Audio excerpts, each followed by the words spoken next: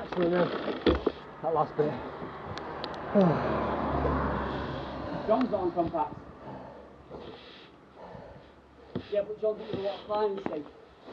Just good.